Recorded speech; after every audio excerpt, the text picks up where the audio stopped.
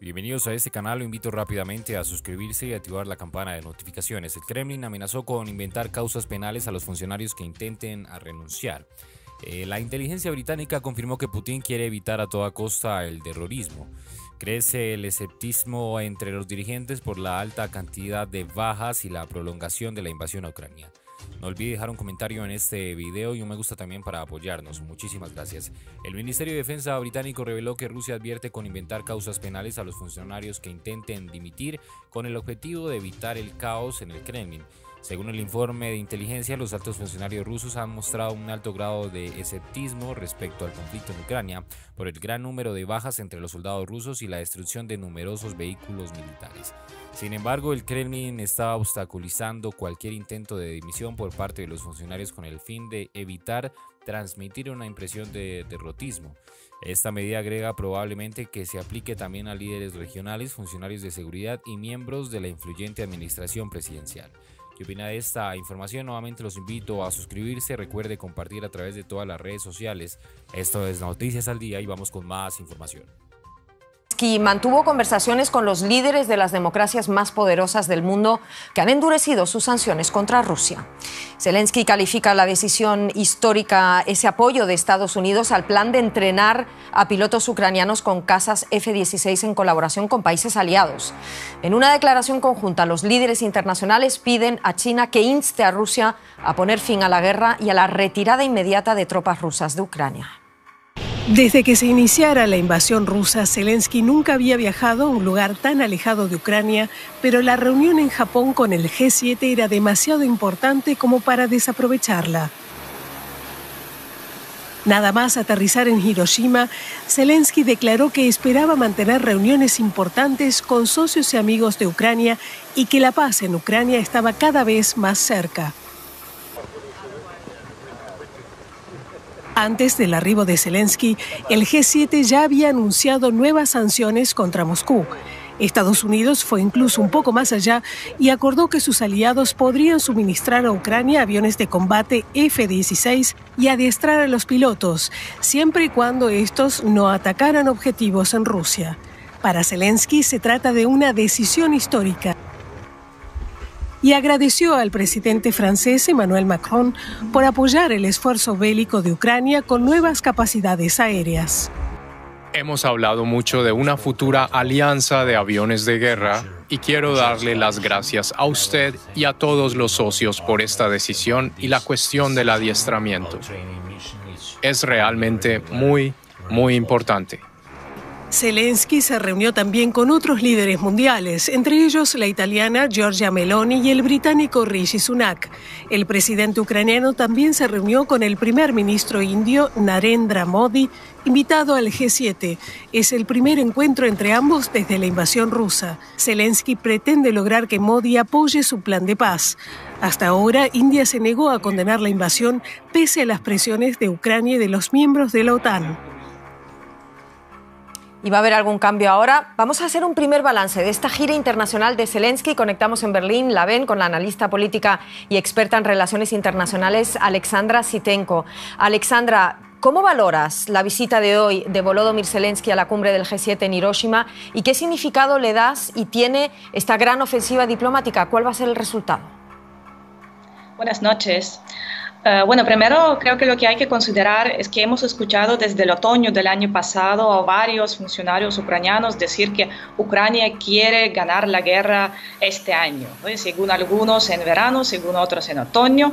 Actualmente la posibilidad de que eso realmente pase es muy, muy, muy, muy baja, pero existe la intención para este año de tratar de recuperar todo el territorio que sea posible. Eh, para eso, evidentemente, hasta ahora le faltan recursos a Ucrania. Y es por eso, por ejemplo, Rusia tiene hasta ahora una enorme superioridad aérea. Es por eso que el presidente Zelensky viajó a los países occidentales para conseguir más ayuda financiera y más, más ayuda militar. Lo que aún más importante, en mi opinión, es que al mismo tiempo Kiev está lanzando una ofensiva diplomática en el sur global. Por ejemplo, tiene planes de abrir embajadas nuevas en, casi dos decenas de países, solo en 10 países de África y también en países como Malasia o como Guatemala. Pues, ¿qué está detrás de esto? Detrás de esto está el intento de recabar más apoyo internacional, eh, más apoyo mundial en su lucha contra, contra la invasión rusa. Y en ese contexto se ve, por ejemplo, también la participación de Zelensky en la, en la cumbre árabe y sus encuentros con Modi y también con, eh, con Lula de Brasil en, Hiroshima. Mm.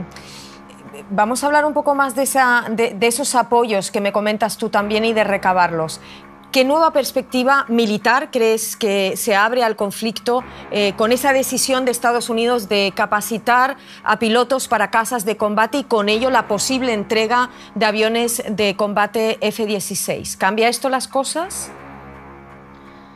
Bueno, primero yo creo que esa decisión apunta a, un posible escenario de que los Estados Unidos van a, van a expedir licencias de reexportación a otros países como Dinamarca, como Países Bajos, como Bélgica, que disponen de los aviones F-16 y están dispuestos a proporcionarlos a Ucrania. Eh, parece que el presidente Biden está dispuesto a hacerlo. Yo veo menos la posibilidad de que los Estados Unidos vayan a mandar sus propios aviones que, que tienen, aunque tampoco es imposible. Sobre las perspectivas, eh, bueno, los pilotos ucranianos primero van a necesitar entre unos cuatro y seis meses de formación en estos aviones. Y yo creo que si antes de eso se produce, si antes de eso no se produce ningún giro decisivo en esa guerra, por ejemplo en el marco de la contraofensiva ucraniana anunciada, entonces la incorporación de esos aviones en la guerra nos va a llevar a otra escalada otra escalada en esa guerra y lamentablemente, es mi opinión, cada vez nos acerca al umbral nuclear, porque Rusia no se va a dejar de suadir, aún menos ahora que mm. acaban de alcanzar una, una victoria, que acaban de tomar la ciudad de Bakhmut después de meses de combates intensos.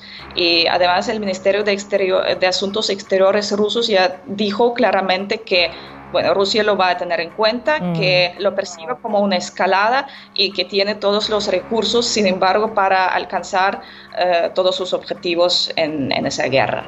Bien, ahí tenían amigos de Videos Mundo todos los detalles, las repercusiones tras la llegada de Volodymyr Zelensky a la cumbre del G7 donde ha sostenido reuniones con las naciones más poderosas del mundo, el Grupo de los Siete, el Club de Amigos, que mantiene firme el apoyo a Ucrania, dotando obviamente de arsenal bélico y la cuestión es ahora si va a haber los aviones de combate para las fuerzas ucranianas. Pero ojo, aquello había sido advertido por Rusia que sería cruzar la línea roja. Aquello implicaría una guerra directa entre la OTAN y Rusia. ¿Qué opinan amigos de Videos Mundo? Déjenme sus comentarios. En breve nada más estaremos con más repercusiones. Hay novedades importantes sobre el avance de la guerra entre Rusia y Ucrania. Ya